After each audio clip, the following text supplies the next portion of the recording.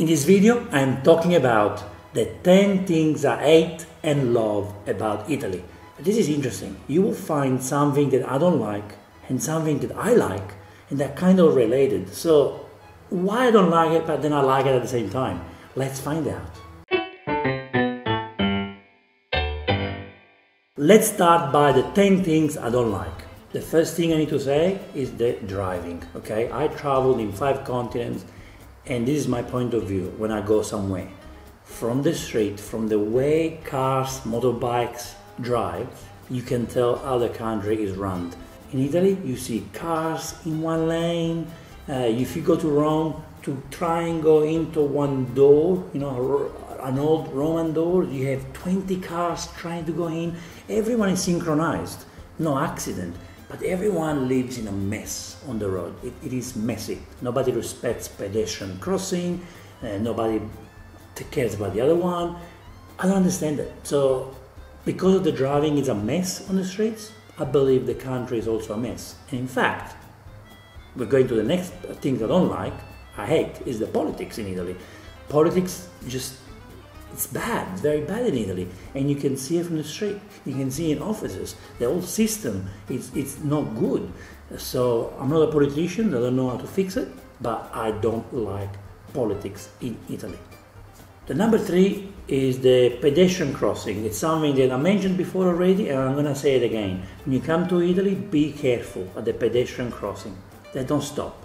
They're starting to stop, but the majority of people don't stop. They go fast and just be careful, okay? Just wait, or maybe go to, to the uh, traffic light where it's a little bit safer. Number four, I don't like that everyone here does things at the last minute. They always wait for the last minute. Last minute, what last minute? Can you plan your life a little bit? We need a little bit of programs. Plan life so you can make plans and grow. Don't do things at the last minute. I don't get why Italians always have to do things at the last minute. I know it's a way of living, it's a lifestyle, but you can't live just like that every day. Point number five no discipline. I live in Australia, a beautiful country with lots of discipline. When I come here and I don't see discipline, it makes me upset. The discipline can be like lining up if you go somewhere. Line up. The discipline could be kids going to school with a uniform the other discipline is listening to when someone speaks or when someone does a speech. I, I, deal with lots of Americans, Canadians, Australians, and other nationalities who, when you speak or you do a speech, they listen. They don't speak. It's very rude to talk while someone is talking. Here, everyone does. Everyone speaks whenever they want, and I hate it so much. Something else I don't like. You know what? In Italy, they don't invest on young generations there is no investment on the young ones. So the young ones need to leave the country to make it big somewhere else, to be appreciated somewhere else. This is sad. This, this has been happening since the old, old days. Something I hate, but it's funny, the obsession for made up rules. Here in Italy, they make up rules. Nobody respects real rules, but then they make up rules like, oh, you don't go for a swim after you eat. Why? Oh, because it's gonna get in your stomach and then you get sick and people believe it. Another up rule is you don't go in air conditioning. Air conditioning is bad for you. It makes you sick. Makes me sick. When it's hot outside, I want the air conditioning right on my face. And there are so many, and I want you to write a comment below and let me know what's it, what's the made up rule in Italy that you found when you came to Italy. There are so many.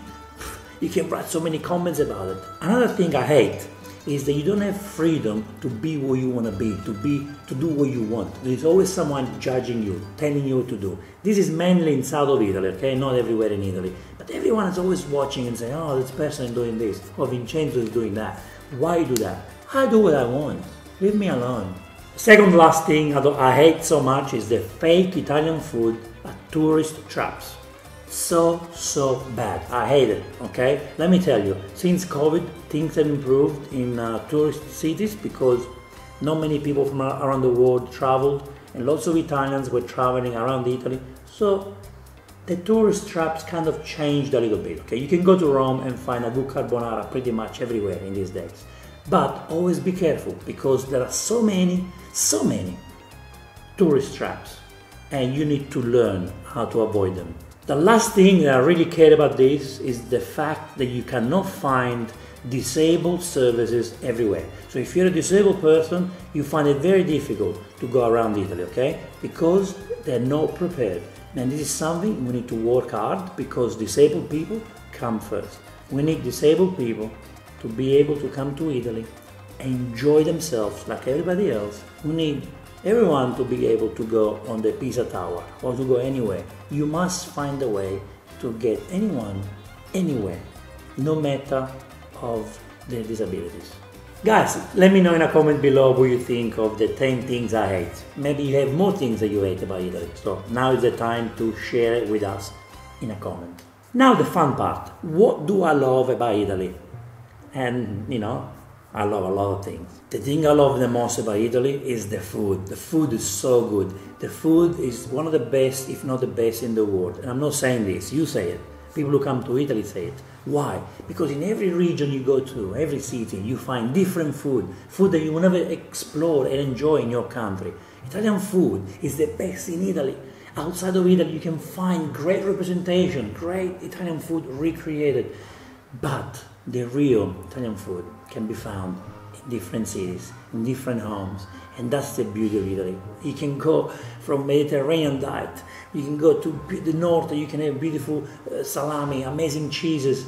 We have so many cheeses here in Italy, don't imagine. We have more than 400 different types of cheeses, so that you know. You know, people don't know this. People think France has more. France has just about over 100, you know. There's so much that we have, but people don't know because you need to discover more this country to learn more about the food. Because here is not just pizza and bolognese, there is more than that. Another thing I love about Italy is the kindness and joy of people. Here, people are so wonderful, so kind, joyful. They want to help you, they want to be with you, uh, they, they, they, they want to spend time, quality time with you, invite you home, cook nice meals. Like it's, it's so people are so important here. So when you come here, Always say good morning, buonasera, ciao. Look people in the eyes. They really need this. They need to connect with you. Always connect with people when you come to Italy. The third thing I really love here is the love for life. And we got this from the nonnies because people that come from the war, many other countries as well, where you know people that survived the war, all they want now is the happiness, is the uh, the, the love for life the simplicity, like being on the table together, enjoying a meal with family, have a glass of wine. That simplicity, that's enjoying life, you know, or just go out for a stroll and have a gelato. Um, just, just uh, enjoy life. Honestly, like there is no tomorrow, and they're very good here in Italy for that. What I love, the cities. Oh, traveling around Italy, going to explore these beautiful cities. Just to mention Florence, my favorite, Verona, you can go to Taormina, uh, you can go to Rome, come on guys, Rome, uh, or just a wonderful uh, town like Positano, uh, or whatever, you know, Siena, there is so many, they're all different one another. You know, you come to my city, Pescara, they're all different, they all have something different to give you, and it's so unique. The traditions, traditions, especially for food, is so so important keeping those traditions alive is what makes us Italians, right? Italy's been around for such a long time, and traditions need to be kept. We can't just become like everybody else. We need to be proud of our traditions, the good ones, of course, and keep them going. And when you come here and you travel to different cities, you see lots of traditions, and I just love to learn about them. I love it because it's something that makes who we are Okay, so if I go to Florence tomorrow, people are very different to where I am, Pescara. Different traditions, different way of living, and that's what makes us so special. And this is pretty much everywhere in the world when you travel in different countries. People are different because of different traditions, and that's that's the beauty of traveling to learn about you know that culture. Values is something else I really care about, and I want my family to uh, you know I have values. I want Sebastian to have values uh, values is what makes who you are. Respect for other people, being kind, uh, giving, and, and, and also uh, care about other people. It's so important. And, and have emotions. It's all part of the values, you know, have feelings for people. Don't be cold. Be nice. The world needs people with values. It is important for us. Everyone should be like that.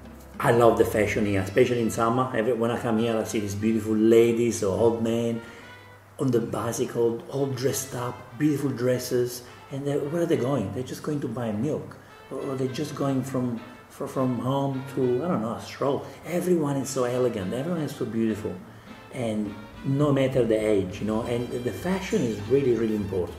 Maybe they don't have a lot of money in the pocket, but they always look like millionaires.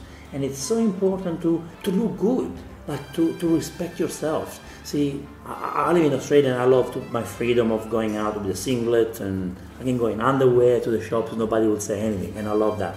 But I also like to see people when they care about themselves and look after themselves. Not just ladies, even boys. What do I love about Italy? The wines. Guys, wines, we have indigenous wines in Italy. You know what that means? We have more than 1,200 wineries in Italy four times more than France, which is coming second. You know what that means? These are big numbers. But we have not just Sauvignon Blanc and Merlot and whatever. Indigenous wines that come from Italy, Montepulciano d'Abruzzo, Montepulciano, uh, you have the Primitivo from Puglia, you have the Barolo, my favorite wine, the Sangiovese, uh, the Pecorino, the Trebbiano d'Abruzzo. We got the, you know so much. So honestly, this is such a long list of wines that we have. So every region you visit, every city you visit, they have a specific wine. Say Amarone, I love it, Amarone from Veneto. Uh, specific wines from the area. There is a town in Sicily uh, called Trapani. There is a winery there. All, because Trapani is famous for tuna, they have amazing tuna there. A winery just creates wines to pair with tuna. That's how crazy this is. So when you order wines in Italy, you really need to learn about the wine, if it goes well with your food. So learn about it because it is an experience. Uh, and people care about this. I care about this. I want you to care. I want you to experience this. Don't be a tourist when you come here. Feel Italy. The second last thing I really love is the respect for people. Well, I'll give an example. If you drive, everyone is synchronized. Nobody respects the rules, but on the road, everyone is synchronized. In Australia, I see people, you know, giving, you know, swearing or being a little bit uh, rude on the road. Yeah, you don't see it much. One, because of the respect, but second is because you never know. you might find the wrong person there and mm, it's not going to end up well. So people are a little bit respectful, but they're also a little bit scared uh, of what is coming.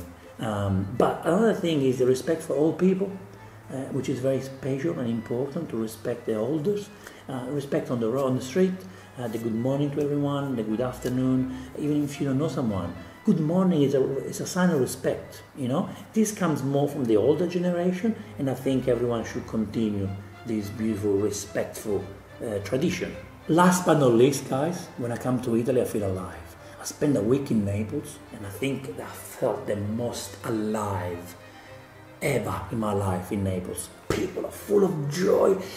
Everyone's on the street chatting, talking, dancing, singing, eating, and it's beautiful. You can go anywhere in Italy, everywhere. You see people out, walking, kids playing, people eat gelato, coffee, having aperitivo in the afternoon, going out late at night. Everyone is here because they want to feel alive. And I want to feel alive.